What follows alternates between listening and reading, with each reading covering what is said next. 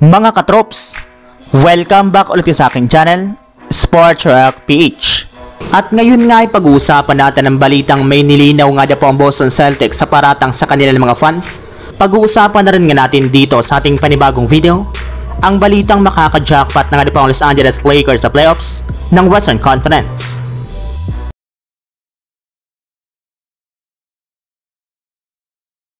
Simula nga po mga katrops nang muntikan pang matalo ang Boston Celtics sa kanilang game laban sa Sacramento Kings, ay marami na nga po mga fans ang naghinala na wala nang pakialam ang Boston Celtics kung manalo man o hindi ang kanilang kupunan sa kanilang mga natitirang laro ngayong regular season.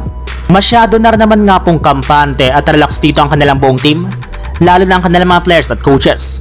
Subalit ayon nga po sa kanilang head coach si Joe Mazzulla sa kanyang interview, sineseryoso at seseryosohin para naman nga po ng kanilang team ang lahat ng kanilang mga natitirang laro since gusto nga po nalang makakuha ng momentum sa pagpasok nila sa first round ng playoffs.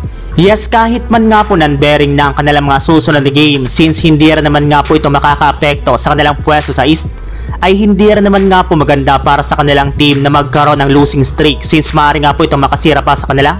Kaya target na nga po ng Boston Celtics na maipanalo ang lahat ng kanilang mga natitirang laro ngayong regular season. Samantala, punta naman tayo sa ating sunod na pag-uusapan sa balitang makaka-jackpot na nga po sa playoffs ang Los Angeles Lakers. Para nga po sa inyong kalaman mga katrops, saktong isang linggo na lamang nga po natitira bago magsimula ang pinakainabangang play-in tournament ngayong season, kaya ginagawa na nga po ng mga kupunan ang lahat ng kanilang makakaya upang maiwasan ito at makadiretso agad sa playoffs. At isa na nga po sa mga gumagawa niyan ay ang kupunan ng Los Angeles Lakers.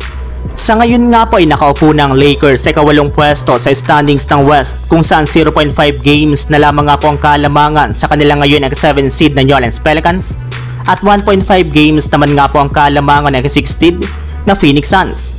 Kaya gaya nga po ng sinabi ko sa inyo mga katrops, kapag nanalo nga po ang Lakers bukas laban sa Minnesota Timberwolves at natalo naman nga po ang Pelicans laban sa Phoenix Suns, ay aangat na nga po ang Lakers sa ika-7 seed kung saan magkakaroon na nga po sila ng home court advantage sa play-in tournament. At ang maganda pa dyan mga katrops, since nga po top 1 ngayon sa West ang ating defending champions ay may iwasan nga po nila ito sa first round ng playoffs since posible nga pong top 2 ang kanilang makalaban dito na either Minnesota Timberwolves o di kay OKC Thunder. So yun lang mga katrops, ang handog kong story ngayong araw. Sana nag-enjoy kayo, please like and subscribe my YouTube channel, Sports PH para sa iba pang story at update patungkol sa NBA. Kita-kits muli sa ating susunod na video.